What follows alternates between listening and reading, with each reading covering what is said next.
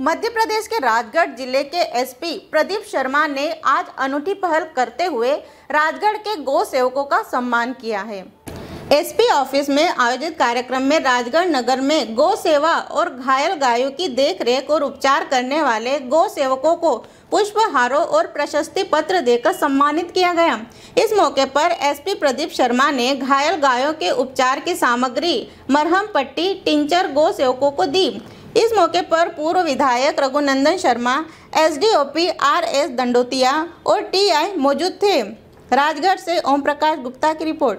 हमारा SP sir ने सहयोग करा और हम लोगों को गोरक्षा के लिए आगे बढ़ाया और उसमें हम सभी लोगों ने सहयोग करा। बहुत अच्छा काम लगा गौ सेवा करके और हम सभी से यही कहना चाहेंगे कि गौ सेवा करना चाहिए, एक अच्छा कार्य है। दिल को सुकून मिलता है और उन लोगों से भी कहना चाहेंगे जिन लोगों ने जो गौ माता पाली हुई है, सड़कों पे छोड़ रखी है, कृपया करके उन्हें अपने घर वापस से बांधें ताकि ये जो समस्या है, गौ गो मतलब गायों की जो समस्या बनी हुई है, दिन रात जो हमारी गाय माता सड़कों पे घायल होती है तो उसमें थोड़ी कम वृद्धि होगी। अब उसे इस धीरे धीरे करके रोका जा सकता है, जितना हमसे बनता है गौ सेवकों से उतना हम लोग कर रहे हैं।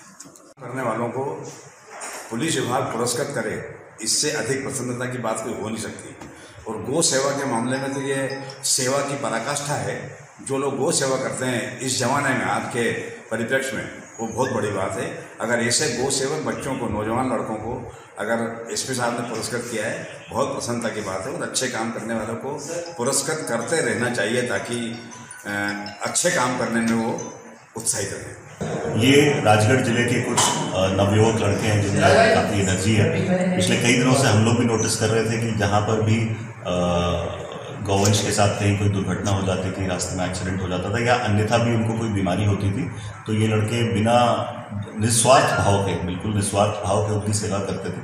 हम सभी ने इसको नोटिस किया है, जनसामान्य ने भी इनको नोटिस किया है, और इनकी किसी से कोई अपेक्षा नहीं है। इसलिए आज पूरे पुलिस महकमे ने सोचा हमारे एस डी पी साहब जो राजगढ़ दंडोतिया साहब हैं और थाना प्रभारी कोतवाली इन्होंने अपनी तरफ़ से इनको सम्मानित करने का फैसला लिया क्योंकि इनके निस्वार्थ भाव को देखकर कहीं ना कहीं ये महसूस होता है कि अगर हम सभी इस तरह से अ, सेवा करें तो इसमें यातायात भी बाधित नहीं होगा सड़क पे जो दुर्घटनाएँ हैं वो भी नहीं होगी और गौवंश को जो अ, भारी बारिश की वजह से समस्याओं का अ, सामना करना पड़ रहा है उसमें उससे भी कहीं ना कहीं हम इनको निजात दिला पाएँगे। आज हमने इनकी एक ही डिमांड थी हमसे, वो ये था कि अगर हम अपनी तरफ़ से इनको कुछ टिंचर और मलहम और पट्टियाँ हम इनको उपलब्ध करा सकें तो हम लोगों ने सबने कंट्रीब्यूट करके इनको गौ सेवा के लिए मलहम, पट्टी वगैरह भी अवेलेबल करवाई। हेलो फ्रेंड्स आप देख रहे हैं हमारा channel S W twenty four news हमारे सारे वीडियो सबसे पहले देखने के लिए आप हमारे चैनल को सब्सक्राइब करें और पास में लगे बेल आइकन को दबाना बिल्कुल भी ना भूलें।